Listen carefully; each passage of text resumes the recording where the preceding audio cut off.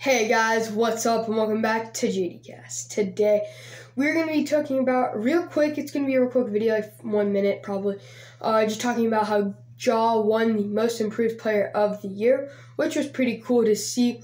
Um, he actually, um, he actually, it's it's it is true. He he was the most improved player of the year.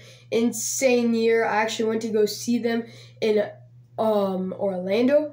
Uh, it was pretty insane game. Uh, if you haven't already seen it, make sure to go check the link in the description for the video.